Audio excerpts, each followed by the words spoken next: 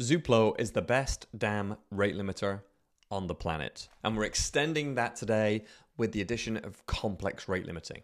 So that's in addition to our standard rate limiter, which already allows you to distributed, synchronized across 300 data centers around the world, rate limit by IP, user, or even do dynamic rate limiting where you can rate limit differently for different users based on properties of the request, their organization, or metadata stored in a database. Very advanced. But today, we're introducing complex rate limiting that allows you to rate limit by things other than request, like potentially compute or gas usage or any other metric that we can see in the request or the response. Um, let's do a quick demo of the standard rate limiter. Adding rate limiting in Zuplo couldn't be easier. We come in here, we add a policy to our um, pipeline. We're going to do rate limiting. We're going to do IP based rate limiting and give the user one request per minute based on IP address.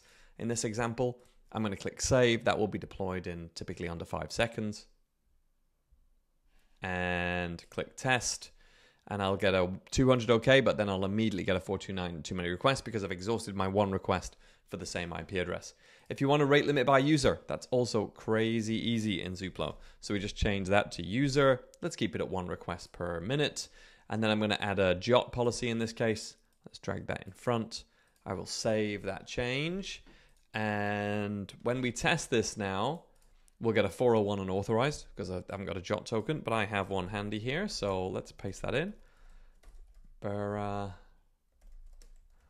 Paste, test, and there we go. We get 200 OK and then I get a 429 too many requests. That user has now exhausted their rate limit. Also very easy, and I'll show a demo of this at the end of the session, um, is to rate limit by function. And that allows you to write a little bit of code that dynamically sets what the rate limit is based on the incoming uh, request. But before we do that, let's go and take a look at the complex rate limiter, which can also do dynamic rate limiting. So the complex rate limiter is here. And you notice it allows you to meter by different things or to rate limit by different things. We're going to rate limit by braces. And I'm going to give folks, I don't know, let's say a thousand braces per five second period. 0.6 is about five seconds. And we'll do that by user as well. So I'm going to keep that JOT token handy. And why am I rate limiting by braces? Well, you can count anything you like. You can look at the response in a header, you can look at the size of the payload, you can look at some special header set that tells you what the compute was. Or in this case, what I'm going to do is I'm just going to count the number of curly braces in the response. It's a little weird, but you know, I think it proves the flexibility of the platform. So I'm going to click um, OK here.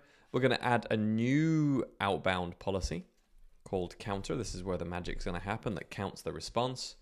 And I'm just going to tidy up all this. We don't need these options because this is a fairly static policy, doesn't need a lot of configuration. First thing to do is to clone the response. const clone equals response.clone. That allows us to um, to play with the responses stream without reading the original stream and thus messing up the response that goes to the client. const text equals await clone.text. And then I have a little bit of code over here that can count the braces in a string. So const count equals count closing braces. And that just takes the text. It's going to give me a number. And then what I'm going to do is use the complex rate limit inbound policy, this, this uh, name here, click command dot and add that to our module up here so it's imported. And then you can see I have a method called set increments. What I do here is I pass in the context and then I pass in a dictionary of counts I want to increase. So we're going to increase the, the braces count. So braces uh, is going to be set to count. And we should probably just do a little bit of logging here. So context.log.info uh, count so that we can see our count. So let's go and add this to our pipeline. Custom code outbound counter and we do not need these options. Click OK. I'm going to click save. And I actually have no idea how many braces are in the response from our to-do API here. So I guess we're going to find that out right now. So let's test that. I should get a, uh, hopefully get a 200 OK. Yeah. And in the logs, it says 200. So I think we said a thousand. So let's see. One. So that's another 200 added. 400, 600, 800, 1000, and then a 429 too many requests. Because if you remember, we configured that policy to have a thousand braces, and we exceeded that on the fifth request because there was 200 braces in each response. That is complex rate limiting. That's how easy it is in Zuplo. Both the complex rate limiter and the standard rate limiter support dynamic rate limiting as well. So let me just show you a, a crazy simple example of that. What we're going to do, let's just use the standard rate limiter for this. I'm going to go back to my uh, rate limit inbound policy here. Let's configure this. And instead of rate limit by user, we're going to rate limit by function. And then I specify an identifier, which is going to look at a, um, a module in JavaScript. Um, and so the module is going to be dollar $import, but it will be, let's see, dot slash module slash rate limit, what we'll call it. Comma here. So that's going to identify a module that's going to get called every time we uh, are trying to look at the rate limiter here. So I think I call that module uh, rate limit. It's an empty module.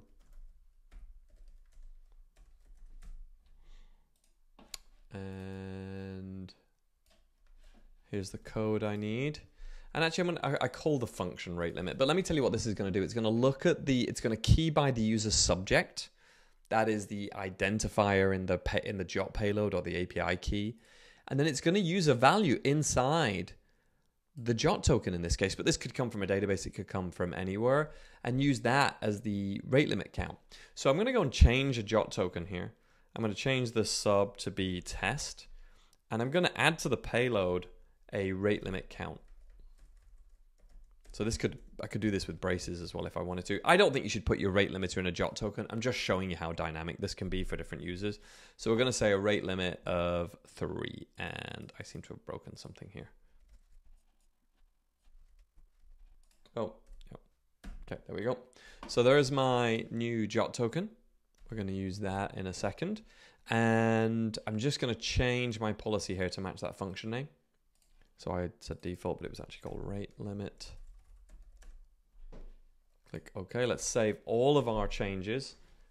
Now, because we're not using the complex rate limiter, we actually don't need this anymore. So I'll just delete that for a second. But the same function, the same idea works with the complex rate limiter. We call this dynamic rate limiting. So let's go and test this. We will paste in that JWT token, and I would expect us to get three requests through successfully here. Two, three, and then 429 too many requests. That's dynamic rate limiting from me from uh, from Zuplo, the best damn rate limiter on the planet.